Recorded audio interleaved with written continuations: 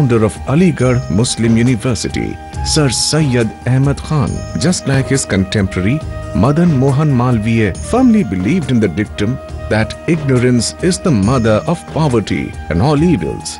Hence, they envisioned grand institutions and seats of learning for all Indians. Sir Syed founded Aligarh Muslim University while Malviya established Banaras Hindu University. Both men were visionaries who saw the world not through religious blinders, but through an expansive view of what strong and inclusive faiths can do to unite rather than divide people. Sir Syed was indeed one of the great architects of modern India. He was also one of those early pioneers who recognized the critical role of education in the progress and development of poor and backward Indians in general and the Muslim community in particular. He wanted Aligarh University to be a great role model on the pattern of Oxford or Cambridge universities in England. Sir Syed said, when a nation becomes devoid of arts and learning, it invites poverty. And when poverty comes, it brings in its wake thousands of crimes. Aligarh Muslim University, ever since its foundation as Mohammedan Anglo-Oriental College in 1875, has created a galaxy of alumni. Great universities or institutions are not just known for great teaching and faculty members, but also for their great alumni. In this respect, Aligarh Muslim University is certainly fortunate and can rightly take pride of its awe-inspiring list of alumni who did so remarkably well in their respective fields in the world. Just to name a few, as the list is so long and extensive, one can remember great film and theatre personalities like late Khwaja Ahmad Abbas, Ali Sardar Jafri and Habib Tanveer. Then there are film personalities like Javed Akhtar, Nasiruddin Shah, Anubhav Sinha and Samiullah Khan. Among sportsmen, the AMU alumni includes the likes of hockey wizard Dhyan Chand, cricket maestro Lala Amarnath, and also famous hockey player Zafar Iqbal. Among politicians and heads of states of government, it includes such great names as Liaquat Ali Khan, Sheikh Abdullah, Zakir Hussain and Hamid Ansari, Rafi Ahmed Kidwai, Mohsin Kidwai, Mufti Muhammad Saeed. They all were part of this august institution. Among scientists, it includes the like of famous marine biologist Padma Shri Sayyid Zahur Qasim, historian professor Irfan Habib, Padma Vibhushan professor Obaid Siddiqui, founder director of Tata Institute of Fundamental Research, virologist Shahid Jamil, inventor Qazi Mubinuddin, etc. Here we are meeting with one such great alumnus of Aligarh University, Dr. Frank Islam, who has been making waves in America for a long time. An entrepreneur, philanthropist, author, civic and thought leader all rolled into one. Dr. Frank takes all these roles in this stride with unwavering commitment. Aligarh Muslim University has been molding bright young minds into men and women of substance for close to a century. And these role models mostly encapsulate the values of AMU in their ways of life. While Aligarh University laid the foundation of Frank's education, his brilliance was immediately recognized when an American professor, Wolfgang Thorne, came visiting the university. To tell Frank that his name would be etched in the history of AMU would have looked like a pipe dream at that moment. But today, all those unrealistic tales have found a birth in Dr. Frank's unflinching determination to elevate the level of education across the globe. Though Frank was born in Konra Gahani, a small village in Uttar Pradesh's Azamgarh town, he was mostly raised in Varanasi, where his family had relocated. The memories of the place still stay with him as he travels across the world. A journey from Azamgarh to Aligarh to America. So when I went to Azamgarh and talked to my father that I just got the scholarship program and I am going to United States of America. He looked at me, he smiled, and he said, you have the best opportunity in the world.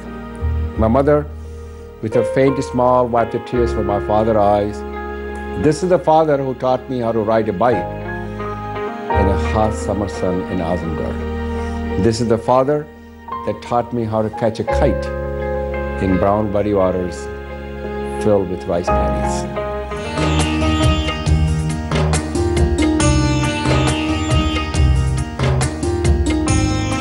When Wolfgang Thon offered to take Frank under his mentorship, young Frank could not comprehend the reason behind it. After all, Aligarh was not short of smart and bright youngsters. Then why was it him and not anyone else? I met a professor from University of Colorado who was visiting Aligarh Muslim University who asked me to cross the Atlantic Ocean to realize the American dream and to go to school at University of Colorado I'm enormously grateful for his kindness and generosity. I'm a beneficiary of his kindness and generosity.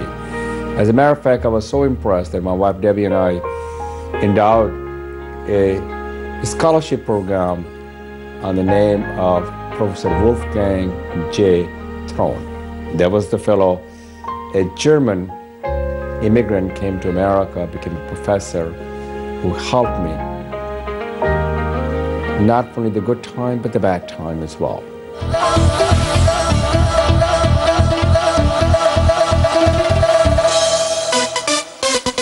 Soon, Frank Islam joined Colorado University at Boulder, USA to pursue his bachelor's and then master's degree in computer science.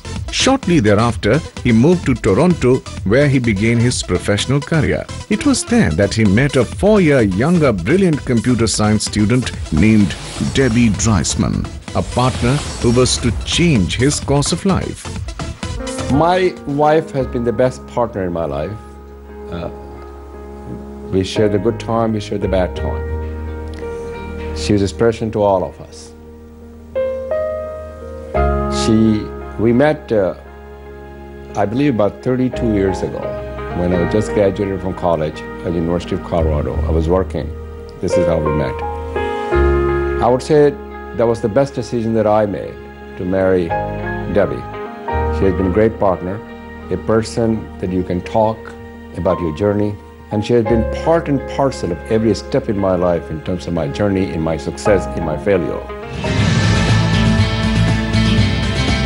It was in 1994 that Frank began his entrepreneurial career as he bought a struggling IT company in Maryland, a state orbiting the national capital, with just 500 US dollars and his own self as the sole employee, he started this firm. Years went by and failures shrouded the ability Frank had. But what it couldn't cast its shadow on was his tenacity. And it is only the result of Frank's determination that after 13 years, QSS was employing thousands of employees, generating an impressive turnover. Presently, the chairman and CEO of FIIG, Dr. Frank focuses on providing growth capital to emerging companies, as well as managing specialized and branded funds. In areas of education, Frank Islam serves on the boards of over 15 reputable worldwide universities. To name a few, John Hopkins University, George Mason University, the American University, the Marymount University, the American University in the Emirates, and again, the list goes on. Dr. Frank Islam is a name that draws respect in the United States not just for his professional accomplishments but also for his contribution to the society. He has been serving as a member of many international advisory councils of USA. Dr. Frank Islam's home Norton Manor in Maryland, USA is a wonderful reflection of his unique personality. A beautiful blend of Eastern and Western culture. Built over sprawling 10 acres of land, this houses a neatly arranged smorgasbord of inspired design elements taken from White House in Washington DC and Rashtrapati Bhavan in New Delhi and Taj Mahal in Agra. No wonder it is called Pride of Potomac. Dr. Frank, who studied MSc in mathematics at Aligarh Muslim University, still feels that even with the dust of time, the institution built by Sir Syed Ahmad Khan remains the mecca of his life journey. That is the reason why Dr. Frank keeps visiting AMU, expressing his gratitude at various levels. I person I am today if I would not received education from Aligarh Muslim University. Aligarh shaped my story and determined my destiny. Aligarh also instilled in me the love of education and a passion and a commitment to create the next generations of Indians who will go out and around the world to make a difference in people's lives. Dr. Frank's love for his alma mater AMU has been so strong that he wanted to do something that would have an everlasting impact on future generations. The opportunity unfolded when on 13th July 2014, at a teleconference call between Dr. Frank Islam, Vice Chancellor Lieutenant General Zamiruddin Shah, and Mr. Syed Ali Rizvi, a Boston-based AMU alumnus, Dr. Frank offered to invest $2 million for a management school at the university. The project was conceived during AMU's World Alumni Summit in 2008. AMU allocated 3 acres of land in lush green ambience of Sir Syed House Complex. The project got a major fillip with generous contribution by Dr. Frank Islam, who along with his wife Miss Debbie laid the foundation stone of Frank and Debbie Islam Management Complex at AMU campus. It is quite heartwarming to see the vision of AMU Vice Chancellor and engagement of people. The project has started showing results in its physical form too. Professor Parvez Talib, OSD of the project revealed that the new management complex is three times bigger than the present Department of Business Administration. Mr. Taqir Sherwani, a representative of Dr. Frank Islam in India, has been instrumental in timely execution of this management complex. His efforts have been commendable and appreciative. The state-of-the-art complex is elegant and is at par with international standards displaying the aesthetics of modern amenities. The Frank and Debbie Islam Management Complex is a unique alumni-supported venture of Aligarh Muslim University. This building project aims at providing state-of-the-art physical infrastructure to the Faculty of Management Studies and Research, a flagship institution of Aligarh Muslim University for his extraordinary contributions to AMU, service to the community, and the cause of education in general. Frank Islam was conferred a Doctor of Science honoris causa at the 63rd annual convocation of the Aligarh Muslim University on 27th February 2016. I'm deeply honored and humbled to receive this honorary degree. This degree extra special because it comes from Aligarh Muslim University. I have a strong connection and bond to Aligarh Muslim University, to its past and the future. I will treasure this for the rest of my life. Now that the physical structure is in place, Dr. Frank Islam is reaching out to our global experts to engage with the department and bring this expertise to greater good.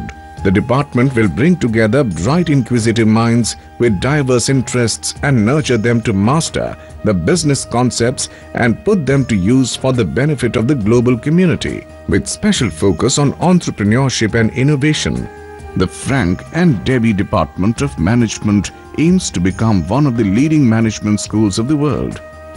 This is a truly special occasion for me, the opportunity for me to be here to participate in this dedication of Frank and Debbie Islam Management Complex is one of the highlights of our lives. This is so not because the complex bear out our names, but because the completion and dedication of this building represents a beginning and not ending. It is the construction of the foundation that will stand the test of the time. This management complex is a place where dreams will begin and students who develop the requisite knowledge, skills, and abilities to recognize them. This management complex represents an opportunity creator and bridge to the future. AMU has been built with community participation and this contribution revives that spirit. The old building's grace reflects that character and now the Faculty of Management has got that sheen too, not just because of generosity of its own, but also because of the laurels he has earned for AMU. I met Dr. Frank Islam and had only to say one sentence. And I told him, Dr. Frank Islam, you are, because of what Aligarh Muslim University did for you, why don't you help create hundreds of Frank Islams? So he says, Mr. Vice Chancellor, how do we do it? Is that simple? Help us build the school for management. Frank Islam stands out as one remarkable example of someone who's gone from Aligarh and made a success of themselves, not merely in terms of, of being successful in business and industry, but being exceptionally successful in being able to communicate with the leadership of their adopted country, the United States of America. I think it was an enormously generous contribution that he's made. Um, it is uh, it's a remarkable expression of the love uh, an alumnus feels for uh, for the alma mater. Uh, Aligarh obviously has a very unique relationship with its alumni. Now, Dr. Frank Islam himself is a successful entrepreneur, so he wishes that entrepreneurial leaders they emerge out of this building who are job creators and not job seekers. All our alumni uh, will be inspired by this example. There is a couplet which says के इस बुलंदी से तुझे चाहे मैं दिखाई न दूँ फिर भी कुछ रब तो दीवार का बुनियाद से है so all our alumni the old students doctor Frank Islam has shown the way and I think many Frank Islam are now in the offing and they will come up and contribute to institution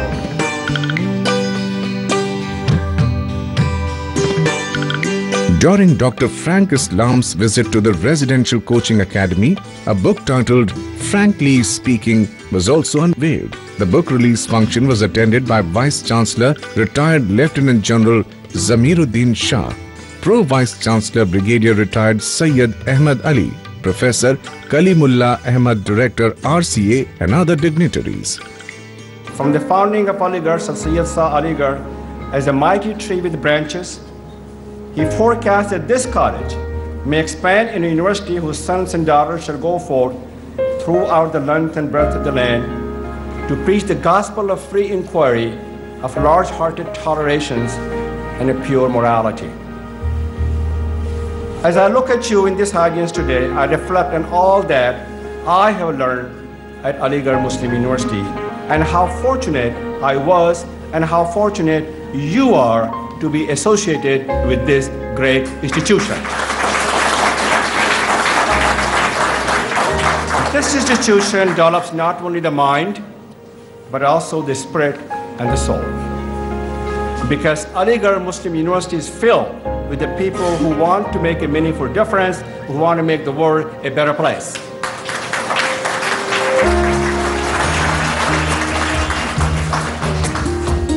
The occasion also gave university students an opportunity to interact with Dr. Frank Islam. Dr. Frank stresses on education and terms it a powerful equalizer that uplifts people's soul and gives them dignity and respect. He serves on various boards and councils of more than 15 universities and educational trusts in the US, Middle East, and other Asian countries. Dr. Frank has launched some educational project in his hometown of Azamgarh. In fact, it was his love for the promotion of education that has earned him laurels in USA and brought him closer to former American President Barack Obama's team. This proved to be his entry into the world of politics too. He started working with President Obama's campaign for the National Finance Campaign, drawing him closer to Obama, building their bond of friendship.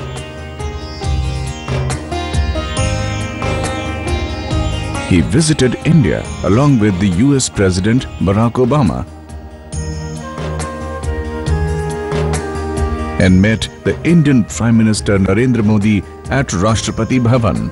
But it wasn't just Obama's campaign that was aided by Dr. Frank. He also became the campaigner and fundraiser for 2016 presidential candidate Hillary Clinton. Early this year, Jamia Millia Islamia Vice Chancellor Professor Talat Ahmed conferred the Imtiaz-e Jamia Award on Dr. Frank Islam, the highest honor given to anybody from Jamia. Frank's theory and belief in giving back to the world continues and this is evident from his speech during his visit to Jamia Millia Islamia.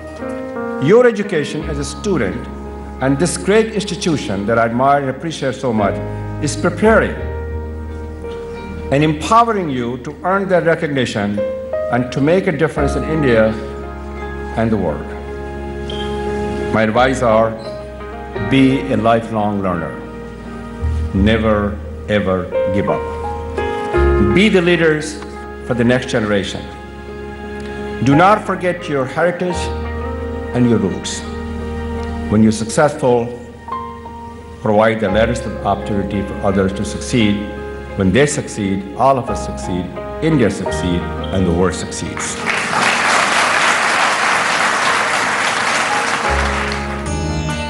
During his visit to India, Dr. Frank Islam also visited Sharda University in Greater Noida, expressing his views on role of higher education in the 21st century, shaping studies, students and society. The reason for this is that during the 20th century, too much of higher education operated using what I would label as institutionally centered model.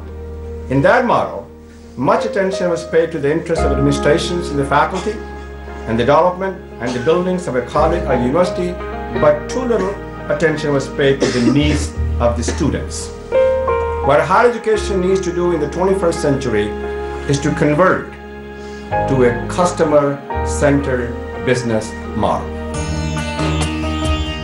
Dr. Frank Islam also visited the Institute of Agricultural Sciences at Banaras Hindu University BHU and delivered the centennial lecture on lessons from and for the journey, advising students to pave their own path and make their own journey.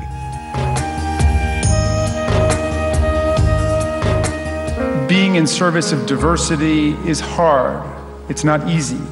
It's a lot easier in this world to demonize, to vilify, to scapegoat, to bully. And so I'm here because I want to stand with the people who have chosen another path.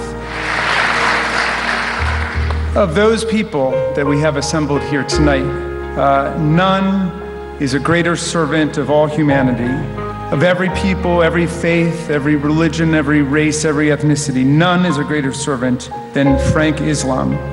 Dr. Frank Islam was conferred Interfaith Leadership Award in 2016 in the United States for his great service as citizen to diverse group of people. I accept it with all humility on behalf of all the members of the conference and those of you in this audience who are working diligently together to build bridges, to break the barriers, to promote dialogue of understanding and cooperation, and a shared sense of community throughout the DC area. We must continue to fight for a fairer, for a stronger, for a better, for more equal, for a just America. God bless you all. Let the concert continue.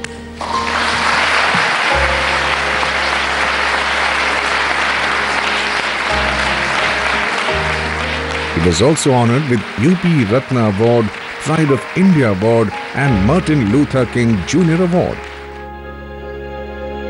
I feel doubly blessed to be given this honor because of the indelible connection between Dr. King and other famous civil and human rights leader from my homeland where I was born, India, Mahatma Gandhi.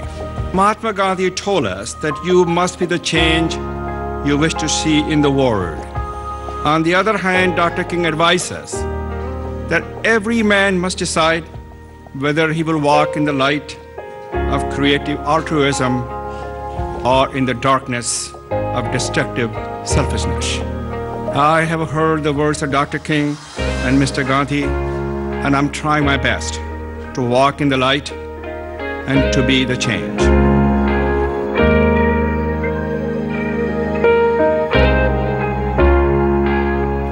Education gave me the what I consider a grounding for me to go out and become a business owner.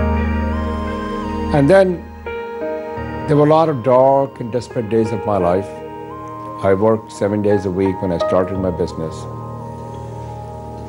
There were times that I said to myself that this is not worth pursuing it.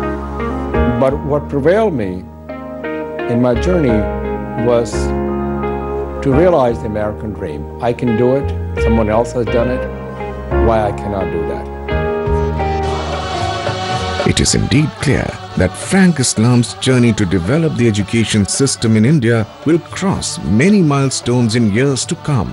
And for all we know, there might be many Frank Islams created in the process to spread the message of peace, education for all, and leadership through compassion.